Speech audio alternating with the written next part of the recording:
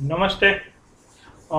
વિદ્યાર્થી મિત્રો, આપણે આજે માનવ પ્રજનન તંત્રની અંદર ઋતુચક્રની ચર્ચાઓ કરશું. એકચ્યુઅલી પ્રાણીઓની અંદર આપણે ચર્ચા કરીએ, તો પ્રાણીઓમાં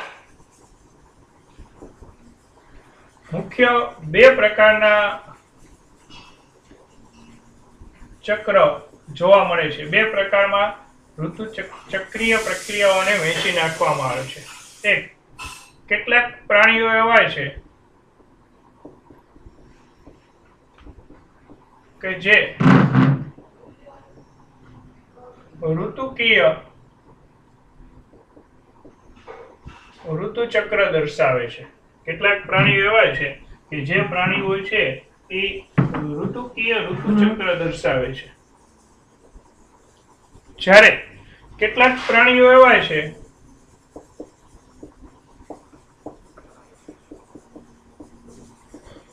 કે જે માસિક ઋતુચક્ર દર્શાવે છે. જે ઋતુકીય ઋતુચક્ર દર્શાવે છે, આવા પ્રાણીઓને આપણે સિઝનલ બ્રીડર્સ તરીકે ઓળખીએ છીએ. જે ઋતુકીય ઋતુચક્ર દર્શાવે છે, આવા પ્રાણીઓને આપણે સિઝનલ બ્રીડર્સ તરીકે ઓળખીએ છીએ. અને જે માસિક ઋતુચક્ર દર્શાવે છે, આવા પ્રાણીઓને આપણે, બરાબર? કન્ટિન્યુઅસ બ્રીડર્સ સતત સંવર્ધકો તરીકે ઓળખીએ છીએ. પહેલાને સિઝનલ બ્રીડર્સ ઋતુકીય સંવર્ધકો તરીકે ઓળખાય. આપણે અહીંયા માસિક ઋતુચક્ર દર્શાવતા પ્રાણીઓ, તો માસિક ઋતુચક્ર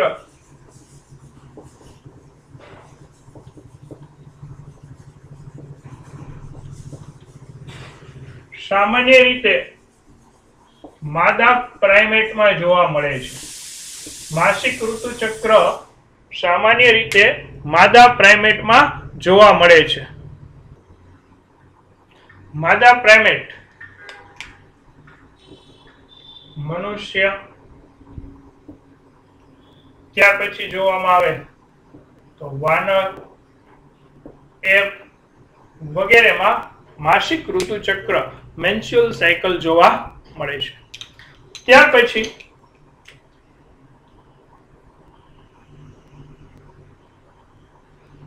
રજો દર્શનની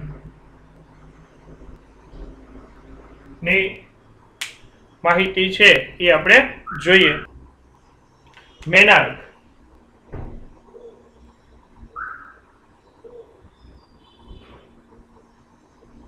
તો રજો દર્શન એટલે શું? તો કે જ્યારે પ્રથમ વખત ઋતુસ્ત્રાવ શરૂ થાય.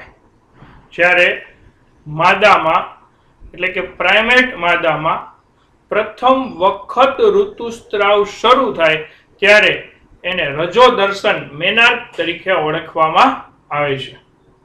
સામાન્ય રીતે યૌવન અવસ્થાના પ્રારંભે રજો દર્શનની ઘટના જોવા મળે છે. સામાન્ય રીતે યૌવન અવસ્થાના પ્રારંભે રજો દર્શનની ઘટના જોવા મળે. પ્રથમ ઋતુસ્ત્રાવ શરૂ થાય, એને રજો દર્શન મેનાક તરીકે ઓળખાય અને આ શરૂઆત છે એ સામાન્ય રીતે પ્રથમ ઋતુસ્ત્રાવ વખતે. બરાબર છે? જોવા મળે અને જે યૌવન અવસ્થાના પ્રારંભે થતી જોવા મળે છે. ત્યાર પછી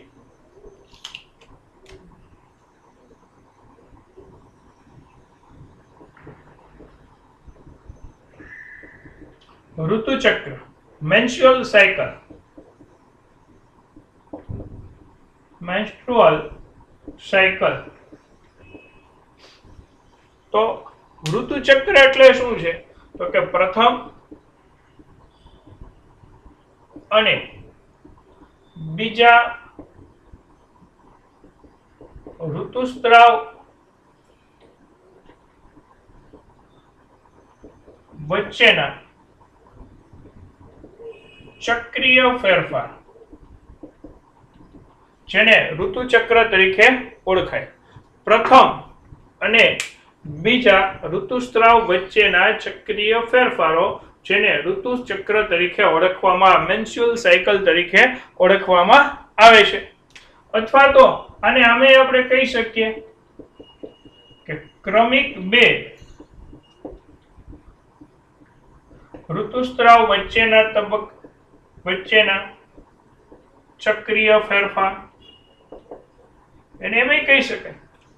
ઋતુચક્ર એટલે પ્રથમ અને બીજા ઋતુસ્ત્રાવ વચ્ચેનો ચક્રીય ફેરફાર અથવા તો ક્રમિક બે ઋતુસ્ત્રાવ વચ્ચેનો ચક્રીય ફેરફાર, જેને ઋતુચક્ર તરીકે ઓળખવામાં આવે છે. મનુષ્યમાં ઋતુચક્ર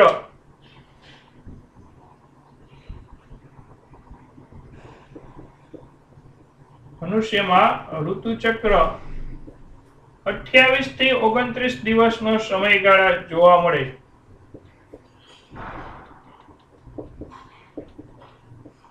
આમ તો જનરલી અઠ્યાવીસ દિવસનું જ ઋતુચક્ર છે, એ ગણવામાં આવે છે, પણ આપણે બુકમાં અઠ્યાવીસથી ઓગણત્રીસ દિવસનું ઋતુચક્ર કે છે. જનરલી ઋતુચક્ર અઠ્યાવીસ દિવસનું જ ગણતરીમાં લેવામાં આવે છે. ઋતુચક્રની મધ્યમાં ઋતુચક્રની મધ્યમાં, એટલે કે ચૌદમા દિવસે, અંડપાતની ઘટના થાય છે. ઓવ્યુલેશનની ઘટના ચૌદમા દિવસે થાય છે અને દ્વિતીય પૂર્વ અંડકોષ ઋતુચક્રની મધ્યમાં ઉત્પન્ન થતો જોવા મળે છે. ઋતુચક્રની મધ્યમાં અંડપાતની ઘટના થાય અને એના પરિણામ સ્વરૂપે દ્વિતીય પૂર્વ અંડકોષ છે એ મુક્ત થતો જોવા મળે છે. હવે, ત્યાર પછી આપણે આગળ ઉપર જોતા જઈએ, તો આ ઋતુચક્રને જુદા જુદા તબક્કાઓમાં વહેંચી દેવામાં આવે છે. ઋતુચક્રના તબક્કાઓ. તો, ઋતુચક્રને કેટલા કેટલા તબક્કાઓની અંદર વહેંચી દેવામાં આવે છે? તો, ઋતુચક્રના તબક્કાઓની અંદર પહેલો તબક્કો છે, જેને ઋતુસ્ત્રાવ તરીકે ઓળખાય છે, જે સામાન્ય રીતે એક થી પાંચ દિવસનો હોય છે. ઋતુસ્ત્રાવ પહેલો તબક્કો, જે સામાન્ય રીતે એક થી પાંચ દિવસનો જોવા મળે છે. બરાબર છે? બીજા તબક્કા તરીકે ઓળખવામાં આવે તો એ પુટકીય તબક્કો છે. પુટકીય અથવા તો પ્રસર્જિત તબક્કો.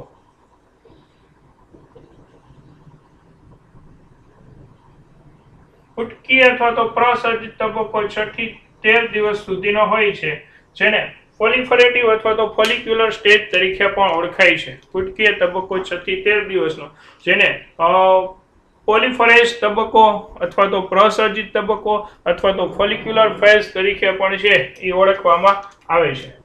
ત્રીજી ઘટના તરીકે અંડપાતની ઘટના થાય છે. ઓવ્યુલેશન. આ ચૌદમા દિવસે આ ઘટના અંડપિંડની અંદર બનતી જોવા મળે છે. ત્રીજી ઘટના તરીકે અંડપાત છે, જે ચૌદમા દિવસે અંડપિંડમાં થતી ઘટના છે. અને ચોથી ઘટના તરીકે જોઈએ, તો ચોથી ઘટના તરીકે લ્યુટિયલ તબક્કો.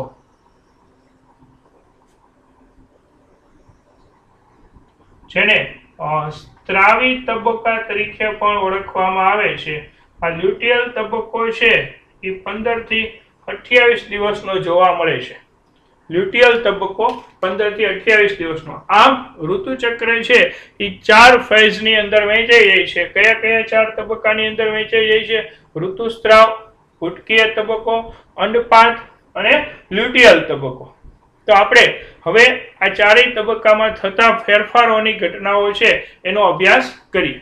ફરી પાછું એક વખત રિવિઝન કરીએ કે ઋતુચક્ર પ્રાણીઓમાં મુખ્યત્વે બે સાયકલિક પ્રક્રિયા જોવા મળે છે. એક ઋતુકીય સંવર્ધ ઋતુચક્ર, જેને આપણે સિઝનલ બ્રીડર્સ તરીકે ઓળખીએ છીએ. અને બીજા કેટલાક પ્રાણીઓ એવા છે, જેને બરાબર છે કન્ટિન્યુઅસ બ્રીડર્સ માસિક ઋતુચક્ર ધરાવતા મેન્સ્યુલ સાયકલ ધરાવતા અને ઓસ્ટિયલ સાયકલ અને મેન્સ્યુલ સાયકલ ધરાવતા હોય છે. માસિક ઋતુચક્ર માદા પ્રાઇમેટ જેવા કે મનુષ્ય છે, વાનર છે, એપ છે વગેરેમાં જોવા મળે છે. હવે, માસિક ઋતુચક્રની અંદર સૌ પ્રથમ આવતો તબક્કો રજો દર્શન, મેનાર્સ. મેનાર્સમાં એટલે કે રજો દર્શનની પ્રક્રિયામાં પ્રથમ વખત ઋતુસ્ત્રાવ થાય, જેને રજો દર્શન તરીકે ઓળખાય છે.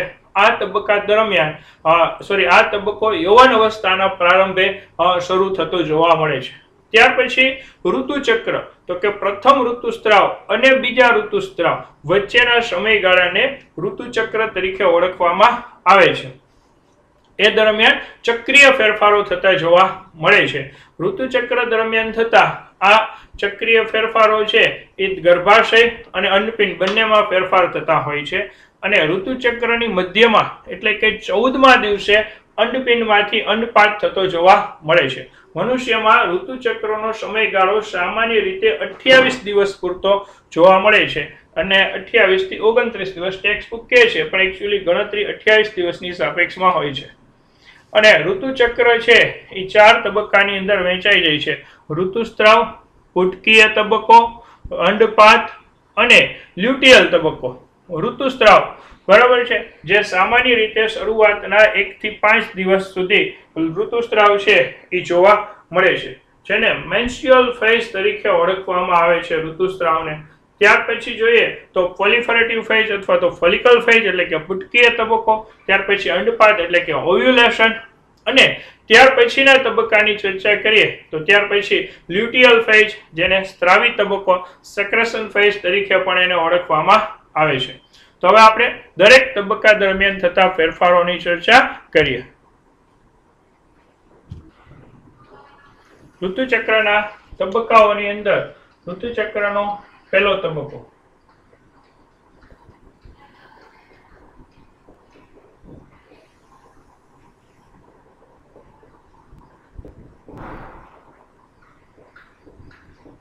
ઋતુસ્ત્રાવ તબક્કો.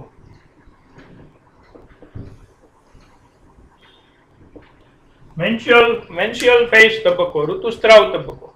આ તબક્કો સામાન્ય રીતે એક થી પાંચ દિવસનો છે. અને તે ત્રણથી પાંચ દિવસ ચાલે છે. ત્રણથી પાંચ દિવસ જેટલો ચાલે છે. ત્રણથી પાંચ ટોટલ સમયગાળો પહેલાથી પાંચમા દિવસ સુધીનો છે. કેટલીક વખત એ ત્રીજા દિવસે પૂરો થઈ જાય, તો કેટલીક વખત આ તબક્કો પાંચમા દિવસે પૂરો થયો. એટલે ઋતુસ્ત્રાવનો ટોટલ સમયગાળો એક થી પાંચ દિવસનો છે, પણ આપણને એમ પૂછે કે કેટલા દિવસ ઋતુસ્ત્રાવ ચાલે? તો ઋતુસ્ત્રાવ ચાલે છે ત્રણથી પાંચ દિવસ. પણ ઋતુસ્ત્રાવનો કુલ સમયગાળો કેટલો છે? તો કે એક થી પાંચ દિવસનો સમયગાળો ઋતુસ્ત્રાવનો જોવા મળે છે. કેટલાક સ્ત્રીઓની અંદર પહેલા બીજા ત્રીજા દિવસે ઋતુસ્ત્રાવ બંધ થઈ જાય. તો કેટલાકમાં છે, પહેલો, બીજો, ત્રીજો, ચોથો પાંચમા દિવસે કેટલાકમાં ચોથા દિવસે અટકી જતું જોવા મળે છે. આ તબક્કા દરમિયાન થતા ઋતુસ્ત્રાવ દરમિયાન થતા કેટલાક ફેરફારો, તો કે ગર્ભાશયની એન્ટ્રોમેટ્રિયમની રુધિર વાહિનીઓ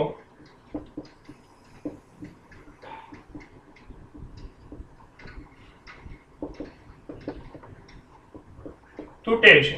એટલે કે એન્ડ્રોમેટ્રિયમ તૂટવાની ઘટના થઈ છે. અને એન્ડ્રોમેટ્રિયમ તૂટે પરિણામે રક્તસ્ત્રાવ થાય. આ રક્તસ્ત્રાવનો આ પ્રવાહ યોની મારફતે બહાર આવે છે.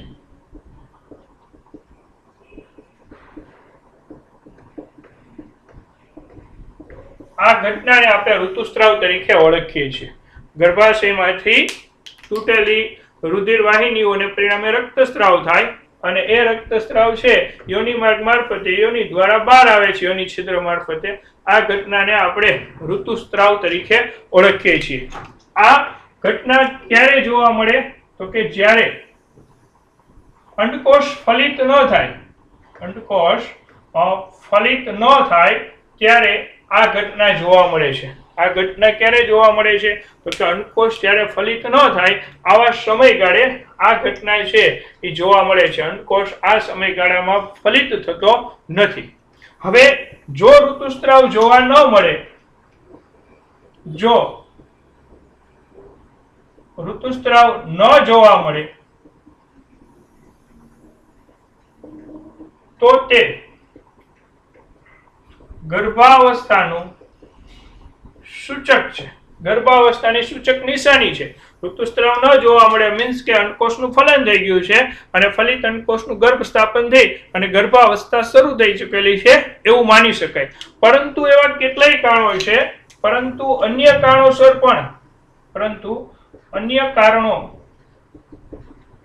સર પણ ઋતુચક્ર ન જો, ઋતુસ્ત્રાવ ન જોવા મળે. જેવું કે તણાવની સ્થિતિ, અસ્વસ્થતાની સ્થિતિ, તણાવ ટેન્શન યુક્ત સ્ટ્રેસ યુક્ત પરિસ્થિતિ કેટલીક વખત હોય, કેટલીક વખત બરાબર છે, બીમારી હોય, અસ્વસ્થતા હોય, આવા કિસ્સામાં ઋતુસ્ત્રાવ છે એ જોવા મળતો નથી. પરંતુ આ સિવાય એક કારણ એવું પણ છે કે પ્રસવ બાદ દુગ્ધ સ્ત્રાવ થતો હોય ત્યારે શરૂઆતના લેક્ટેશન ફેઝ દરમિયાન પણ ઋતુસ્ત્રાવ નથી જોવા મળતો. સામાન્ય રીતે પ્રસવ બાદ આશરે છ મહિના સુધી ઋતુસ્ત્રાવ છે એ જોવા નથી મળતો. એટલે ઋતુસ્ત્રાવની પ્રક્રિયા છે એ અટકી ગયેલી હોય તો એનું મોટા ભાગે સૂચન એવું છે કે એ ગર્ભધારણ અવસ્થાનું સૂચન કરે છે. પરંતુ કાયમી માટે એવું નથી હોતું. તણાવની પરિસ્થિતિ હોય, શારીરિક અસ્વસ્થતા હોય, અથવા તો જ્યારે પ્રસવ બાદ બાળકનો જન્મ થાય, ત્યાર પછી બાળક જ્યારે સ્તનપાન કરતું હોય દૂધ સ્ત્રાવ થતું હોય, આવા સમયગાળામાં પણ ઋતુસ્ત્રાવ છે એ જોવા મળતો નથી. તો આ ઋતુસ્ત્રાવ તબક્કાની ચર્ચા હતી. ઋતુસ્ત્રાવ પછી કુટકીય તબક્કો શરૂ થતો જોવા મળે. આ તબક્કામાં કઈ કઈ ઘટનાઓ બને છે? એની ચર્ચાઓ કરતા જઈએ. ફૂટકીય તબક્કામાં જોવા મળતી પહેલી ઘટના કે અંડપિંડમાં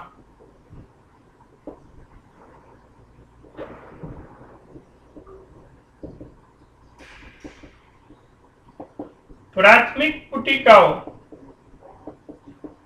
મોટી બને અને ગ્રાફિયન પુટિકામાં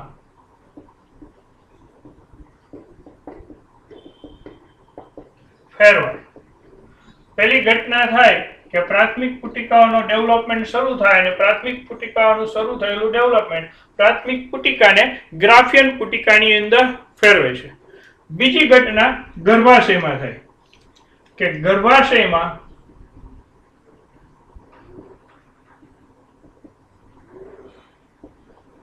એન્ડોમેટ્રિયમ એટલે ગર્ભાશયની અંદરનું સ્તર, એન્ડોમેટ્રિયમ જાડું અને ગ્રંથિમય બને.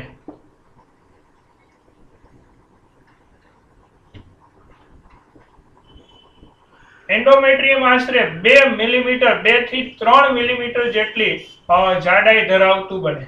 એન્ડોમેટ્રિયમ ડેવલપમેન્ટ થાય એન્ડ્રોમેટ્રિયમ જાડું અને ગ્રંથિમય બને અને એન્ડ્રોમેટ્રિયમ આશરે બેથી ત્રણ મિલીમીટર જેટલી જાડાઈ ધરાવતું જોવા મળે છે. એન્ડ્રોમેટ્રિયમ કેટલી જાડાઈ ધરાવતું જોવા મળે છે? બેથી ત્રણ મિલીમીટર જેટલી જાડાઈ ધરાવતું જોવા મળે છે. આ દરમિયાન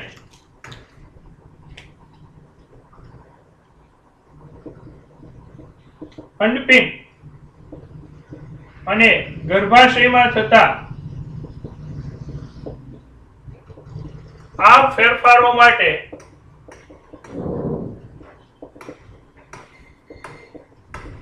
પિટ્યુટરી અને અન્નપિંડના અંતસ્ત્રાવો જવાબદાર છે. અન્નપિંડના અંતસ્ત્રાવો જવાબદાર છે. એકચ્યુઅલી એ અન્નપિંડના કયા અંતસ્ત્રાવો જવાબદાર છે, કઈ રીતના એ આપણે આપણા નેક્સ્ટ લેક્ચરની અંદર ઋતુચક્રનું જે ચાર્ટની સમજૂતી છે, એની અંદર માહિતી જોવાના છીએ. કે અંડપિંડ અને ગર્ભાશયમાં થતા ફેરફારો છે, એ અન્નપિન અને ગર્ભાશયમાં થતા ફેરફારો પિચ્યુટરી અને અંડપિંડના અંતસ્ત્રાવો માટે જવાબદાર છે. જે પિચ્યુટરી ગ્રંથિ અને અંડપિંડના અંતસ્ત્રાવો માટે આ ફેરફારો ને સોરી અંતસ્ત્રાવોને કારણે અંડપિંડમાં પ્રાથમિક પુટિકામાંથી ગ્રાફિન પુટિકા બને છે અને એ અંતસ્ત્રાવોને કારણે એન્ડ્રોમેટ્રિયમ જાડુ અને ગ્રંથિમય બને છે. આટલું તમને ખ્યાલ આવી ગયો કે એન્ડ્રોમેટ્રિયમની દિવાલની જાડાઈમાં વધારો કરવો, પ્રાથમિક પુટિકામાંથી ગ્રાફિન પુટિકામાં ફેરવું, એના માટે અનપિન અને પિચ્યુટરી ગ્રંથિના અંતસ્ત્રાવો છે એ જવાબદાર જોવા મળે. અહીંયા પિચ્યુટરી ગ્રંથિના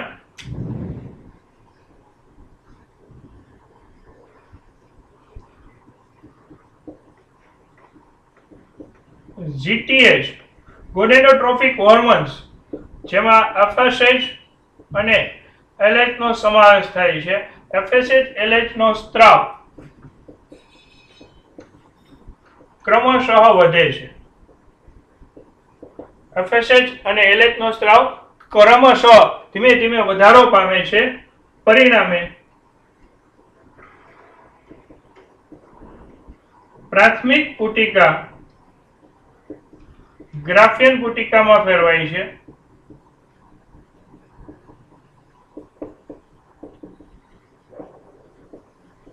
પ્રાથમિક પુટિકા કેમાં ફેરવાય છે? ગ્રાફિયન પુટિકામાં. આ ગ્રાફિયન પુટિકા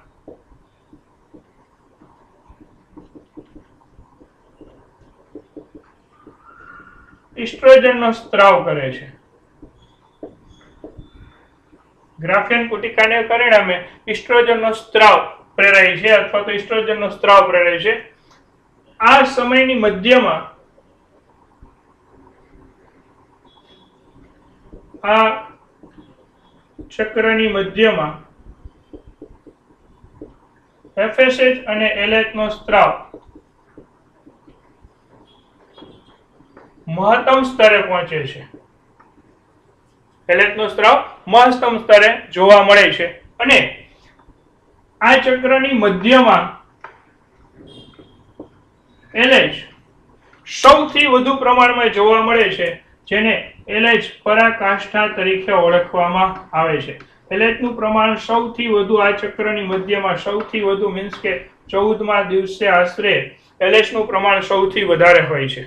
અને ચૌદમા દિવસે એલએચ પ્રમાણ સૌથી વધારે હોય એના પરિણામ સ્વરૂપે છે એ શું થાય તો કે એલએચ પરિણામ સ્વરૂપે એના પરિણામ સ્વરૂપે ગ્રાફિયન પુટિકા તૂટે છે. ગ્રાફિયન પુટિકા તૂટે અને અંડપાતની ઘટના થાય. એટલે કે મીન્સ કે ત્રીજો તબક્કો શરૂ થાય ચૌદમા દિવસે અંડપાતની ઘટના થતી જોવા મળે છે. અંડપાતની ઘટના માટે કોણ જવાબદાર હોય છે? તો કે અંડપાતની ઘટના માટે એલએચનું મહત્તમ પ્રમાણ, એલએચનું મેક્સિમમ સ્ત્ર, બરાબર છે? જવાબદાર જોવા મળે છે. તો આ કુટકીય તબક્કા દરમિયાન થતા ફેરફારોની ચર્ચા હતી. અને ખાસ એમસીક્યુ તરીકે કે એલએચ પરાકાષ્ઠા કેટલામાં દિવસે તો કે ચૌદમાં દિવસે અને એલએચની પરાકાષ્ઠાને કારણે કઈ ઘટના બને છે અંડપિંડમાં તો કે એલએચ પરાકાષ્ઠાને પરિણામે અંડપિંડમાં બનતી ઘટના અંડપાતની ઘટના છે જેમાં ગ્રાફિયન પુટિકા તૂટે છે. એટલે અંડપાતની ઘટના જે ત્રીજા તબક્કાની ચર્ચા થઈ અને અંડપાત થાય ત્યાર પછી લ્યુટિયલ તબક્કો શરૂ થતો જોવા મળે છે. તો આપણે હવે લ્યુટિયલ તબક્કાની ચર્ચા કરીએ. લ્યુટિયલ તબક્કા દરમિયાન સામાન્ય રીતે લ્યુટિયલ તબક્કો પંદરથી અઠ્યાવીસ દિવસ દરમિયાન જોવા મળે છે. પંદરથી અઠ્યાવીસ દિવસનો તબક્કો છે લ્યુટિયલ તબક્કો. પંદરથી અઠ્યાવીસ દિવસ દરમિયાન થાય લ્યુટિયલ તબક્કાને સ્ત્રાવી તબક્કો તરીકે પણ ઓળખાય છે. લ્યુટિયલ તબક્કાનું બીજું નામ છે સ્ત્રાવી તબક્કો. ન્યુટ્રિયલ તબક્કા દરમિયાન તૂટેલી ગ્રાફિયન પુટિકા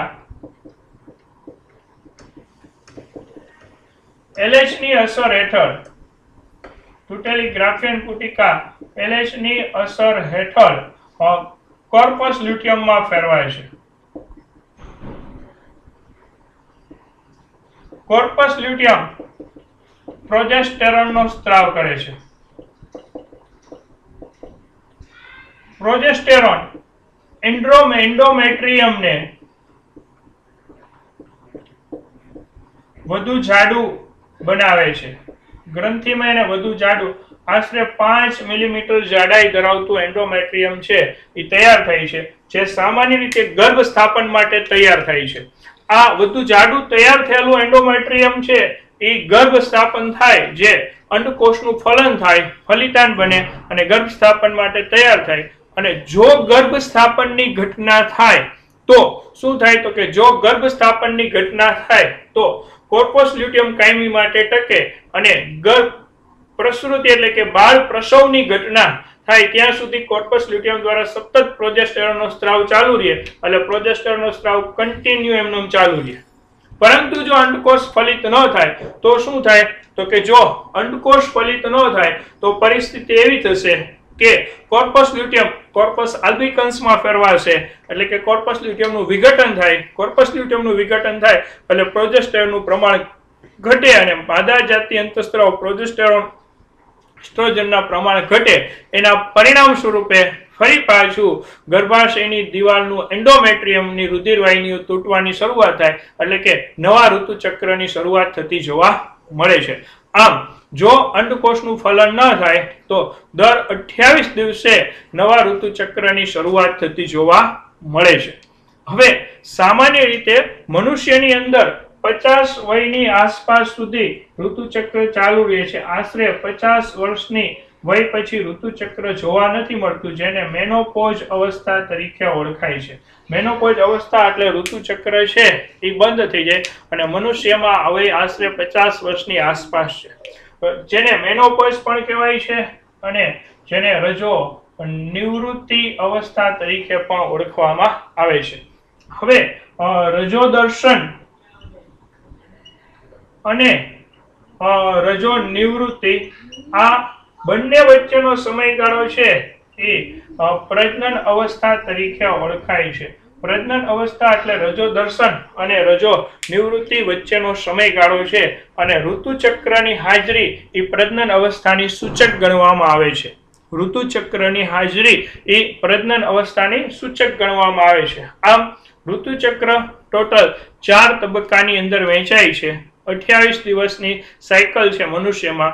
અઠ્યાવીસથી ઓગણત્રીસ દિવસ આપણી ટેક્સ્ટબુક લખે છે. અઠ્યાવીસ દિવસની સાયકલના તબક્કામાં ગર્ભાશયની અંદર જોવા મળતા ફેરફારોને અન્નપિંડમાં પણ ફેરફારો થઈ છે, જેને એકચ્યુઅલી અન્નપિંડીય ચક્ર અને ગર્ભાશય ચક્ર બે ભાગમાં પણ વહેંચી શકાય છે. ગર્ભાશયની અંદર પહેલા એકથી પાંચ દિવસ જે સ્ત્રાવી તબક્કો છે, ત્યાર પછી છથી તેર દિવસ, જેને ઉટકીય તબક્કો પ્રોલિફરેટિવ ફેજ અથવા તો પ્રસર્જિત તબક્કો તરીકે ઓળખાય છે. ચૌદમો દિવસ અંડપાત જેમાં ગર્ભાશયની અંદર ફેરફાર ના થાય, માત્ર વાઇઝ ફેરફાર થતા જોવા મળે છે. અને છેલ્લો તબક્કો લ્યુટિયલ તબક્કો, જે પંદરથી અઠ્યાવીસ દિવસનો જોવા મળે છે, જેમાં કોર્પસ લ્યુટિયમ ડેવલપમેન્ટ થાય છે અને લ્યુટિયમ, કોર્પસ લ્યુટિયમ દ્વારા પ્રોજેસ્ટરનો સ્ત્રાવ થાય, જે એન્ડ્રોમેટ્રિયમનો વિકાસ પ્રેરે એન્ડ્રોમેટ્રિયમ ગર્ભ સ્થાપન માટે તૈયાર થાય.